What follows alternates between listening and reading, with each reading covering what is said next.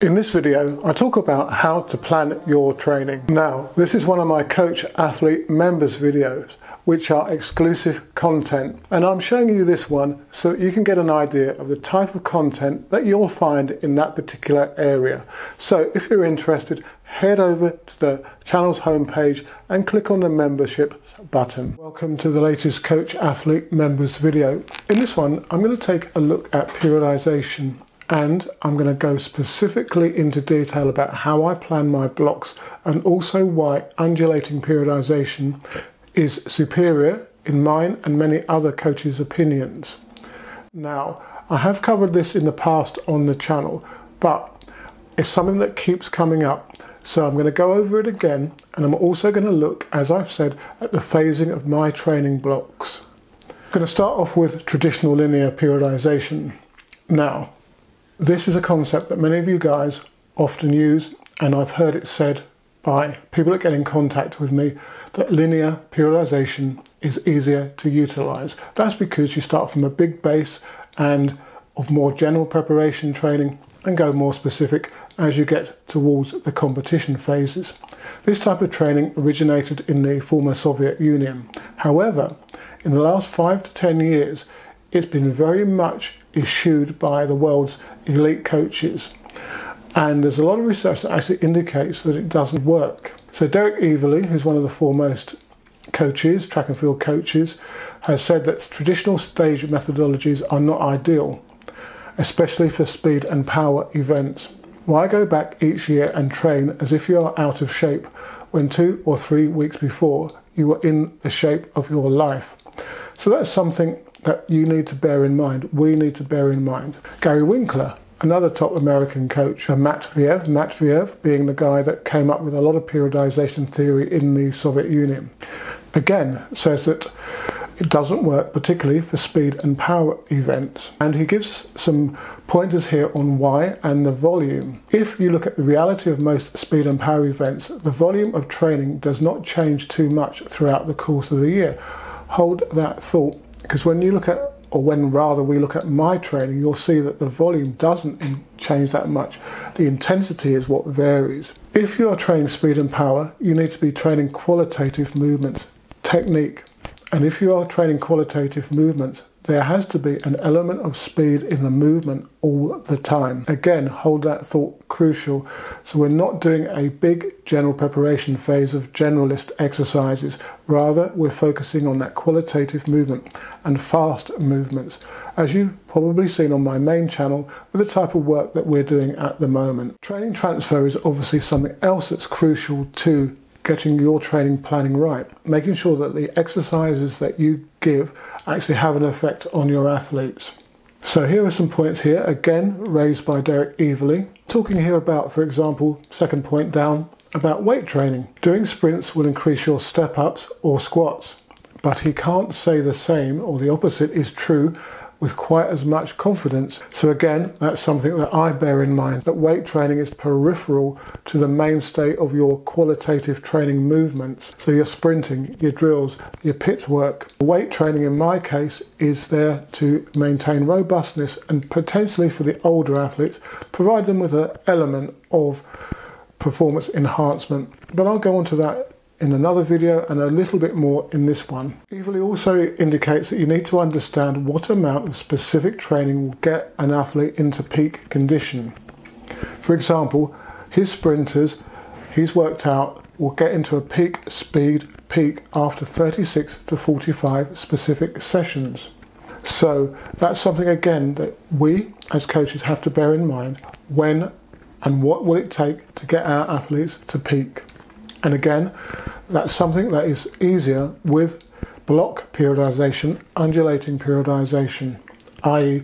to attain more seasonal peaks. He adds complex methodologies which employ year-round speed work or much harder to employ but pay bigger dividends and that's because of the transfer, the speed and the qualitative elements. So when we look at my programs, you'll be able to see how that is achieved. I know that's something that many people do find difficult. Dan Pfaff, of course, one of the world's greatest track and field coaches. Some very important points here about programming. Dan says generally programming is too dense. A good program should be able to shrink or expand and still work. The goal of a coach is to see how little your athletes can do and still be great. So basically, he's looking at the minimum effective dose to bring about effective training change. We don't do things just to do things.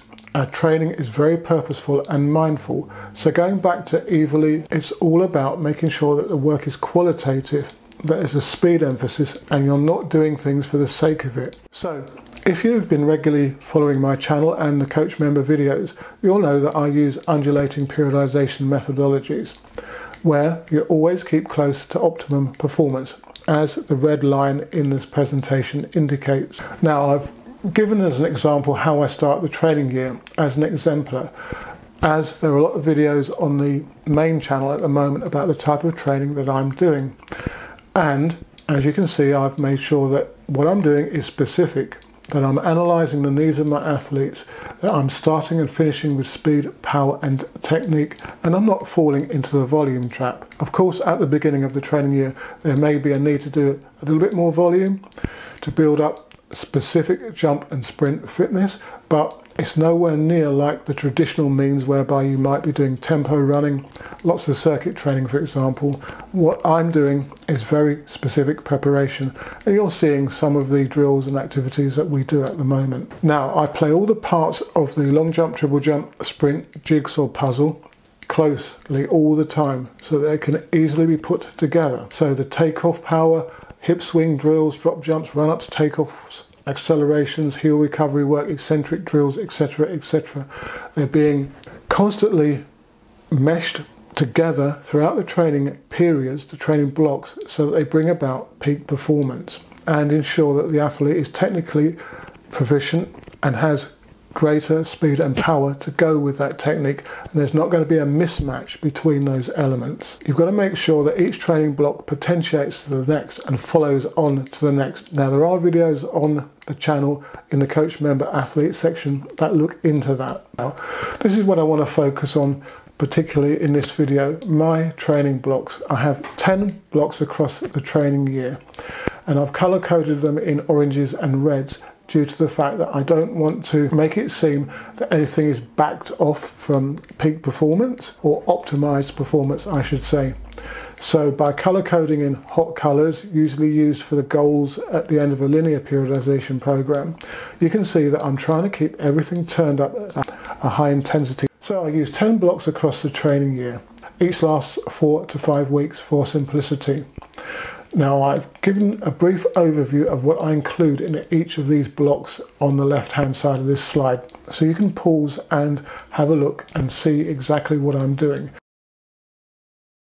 I put for specific preparation phase one in October, eccentric focus, so that's the downhill steps, the downhill sprints, and also doing bar drills, resisted work, and hills and drills. More on the sequencing of blocks so what I'm trying to do, as I'm indicating, is constantly elevate the potential, the performance potential of these sprinters and jumpers across these 10 blocks. So block 5, the first peak, is the indoor season. Blocks 9 and 10 are peaks in the outdoor season. With undulating periodization, you are able to maintain the peaks better across the year than with traditional periodization, where you may only have a six week window for peaking.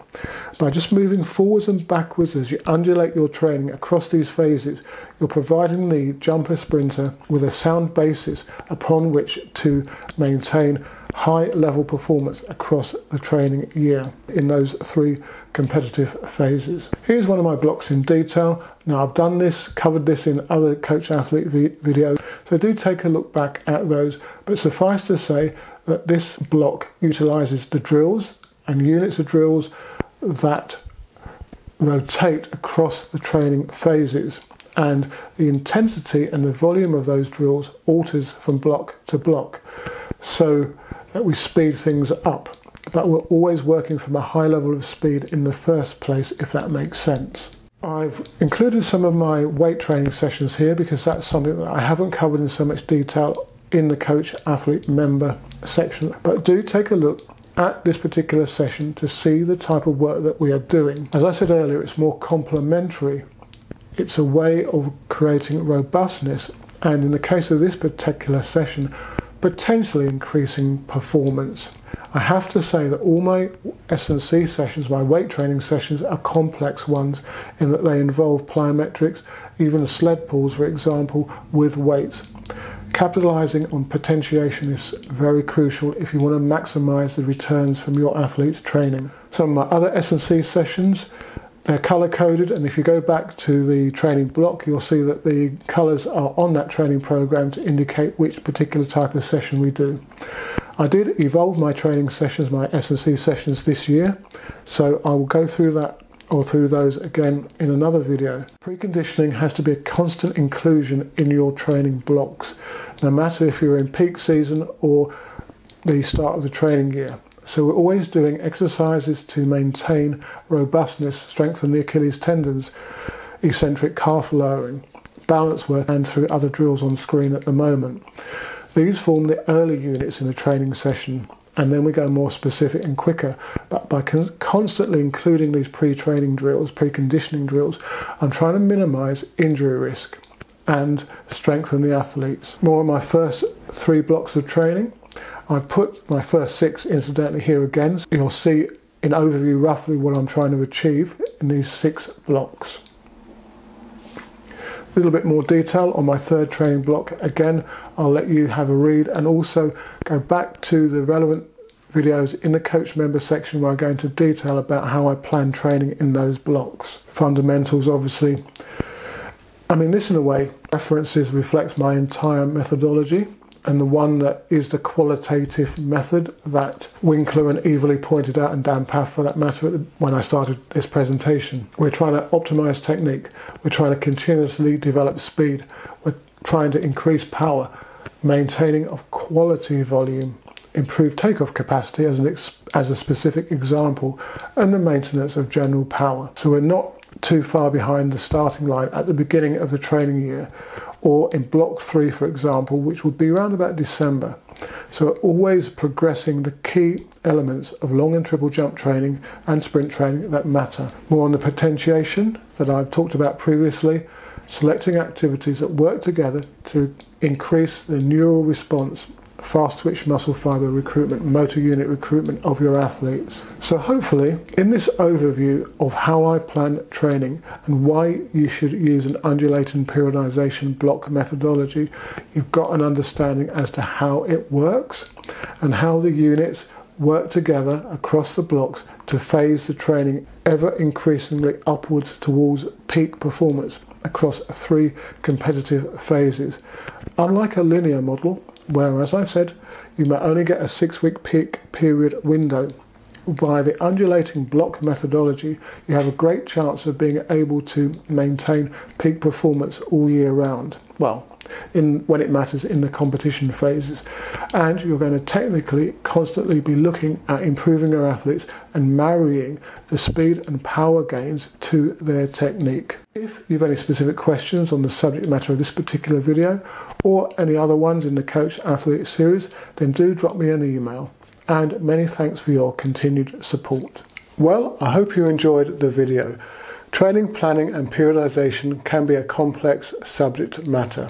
As I said at the beginning of the video, if you'd like to gain access to more of this type of content, of which there are many videos on training blocks and phases and how to integrate them, then head over to the channel's homepage and click on the memberships button. And as usual, good luck with your training and any competitions that you've got coming up. I'm making this video at the end of 2023, so happy new year and here's to lots of personal bests and great performances in the new year.